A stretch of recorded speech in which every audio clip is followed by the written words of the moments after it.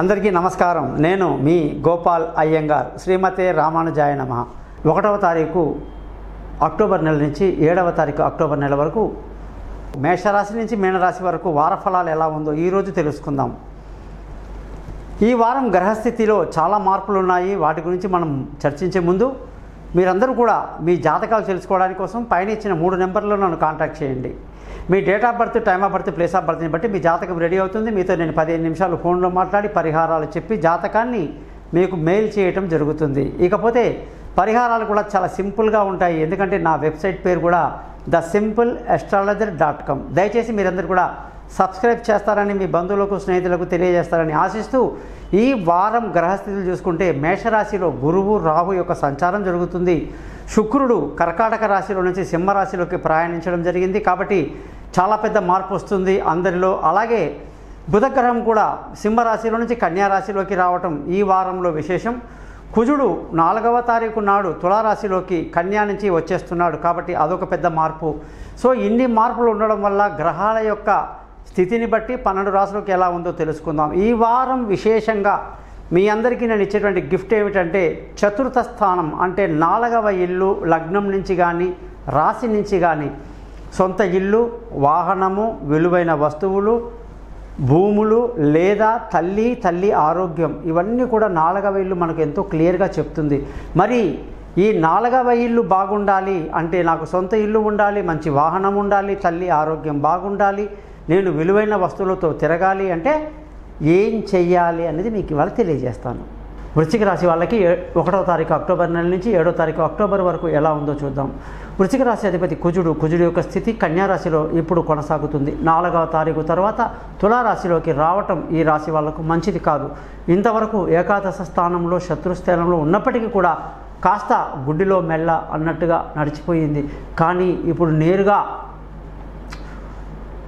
పెండంలో నుంచి పొయ్యిలో పడ్డట్టుగా కుజుడు తులారాశిలోకి వచ్చి కూర్చుంటున్నాడు. నాలుగు తర్వాత అనేక అనేక నెగిటివ్ థాట్స్ నెగిటివ్ పనులు చేయటం చెడ్డవాళ్ళతో కలవటం పనికిరాని టైంపాస్ చేయటం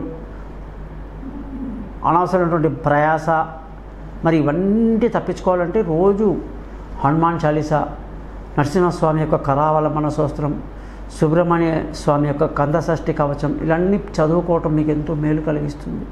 కాబట్టి వృశ్చిక రాశి వాళ్ళు అన్ని రకాలుగా జాగ్రత్తలు తీసుకుంటూ ఉండాలి. డబ్బు విషయంలో కాస్త ఇబ్బంది కలిగే అవకాశం ధనం సమయానికి రాకపోవటం కుటుంబంలో కొంత కలతలు ఉండడం పిల్లల చదువుల్లో ఇబ్బందులు కలిగే అవకాశాలు లేకపోలేదు. ఈ రాశి వాళ్ళకి డబ్బునిచ్చేవాడు శని. శని యొక్క స్థితి మీకు జాతకంలో బాగాలేకపోతే సొంత ఇల్లు వాహనాలు విలువైన వస్తువులు ఏమీ ఉండవు.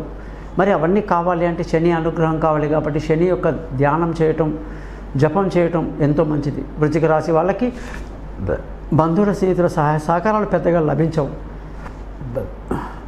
విలువైన వస్తువులు భూములు వాహనాలు ఇతరత్ర కొనడానికి ఎంతో అనుకూలంగా ఉంది. సంతానం విషయంలో బెంగ ఉంటుంది. తెలివి తక్కువ నిర్ణయాలతో ఇబ్బంది పడే అవకాశాలు ఉంటాయి. పిల్లల యొక్క విదేశీయానాలు కానీ దూర ప్రయాణాలు కానీ కాస్త ఇబ్బంది కలిగే అవకాశాలు ఉంటాయి. ఆరోగ్యపరమైన విషయాల్లో మీరు చాలా సంతోషంగా ఉంటారు. అది పెద్ద ప్లస్ పాయింట్ మనకి. శత్రువులు మిత్రులు అవుతారు భార్యాభర్తల మధ్య చక్కటి సయోధ్య కలిగి సంతోషంగా ఆనందంగా గడుపుతారు. పార్ట్నర్షిప్లో వ్యాపారాలు కలిసి కలిసి వస్తాయి. పెళ్ళి కానీ వాళ్ళకి పెళ్ళి కుదురుతుంది. అదృష్టంగానే చూసుకుంటే ఈ వారంలో అదృష్టం ఈ వారం వాళ్ళకి చాలా బాగుంది. తండ్రి సహకారంతో అన్ని పనులు పూర్తి చేస్తారు న్యాయంగా ధర్మంగా జీవిస్తారు. ఉద్యోగస్తులందరికీ కూడా ఎంతో మంచి సమయంగా చెప్పాలి. ప్రమోషన్లు ఇంక్రిమెంట్లు పై అధికారుల ప్రశంసలు వీసాలు అప్రూవడాలు కొత్త కొత్త అవకాశాలతో సంతోషంగా ఆనందంగా ఈ వారం అంతా గడుపుతారు. వ్యాపారం చేసే వాళ్ళ పరిస్థితి కానీ చూసుకుంటే వ్యాపారంలో బాగా లాభాలు ఉంటాయి. వ్యాపారంలో కొత్త కొత్త రంగాల్లో పెట్టుబడి పెట్టే అవకాశాలు కూడా బాగా వస్తాయి. వృషిక రాశి వాళ్ళందరూ కూడా ఖర్చుల విషయంలో అధికంగా ఉండే అవకాశం ఉంది. రోజు కుజమంత్రాన్ని ఏడు సార్లు చదువుకోవటం హనుమాన్ చాలీసా లాంటివి చదువుకోవటం వల్ల మీకు మేలు జరుగుతుంది. నమస్కారం మీ గోపాల్ అయ్యంగార్ వచ్చే వారం కలుసుకుందాం.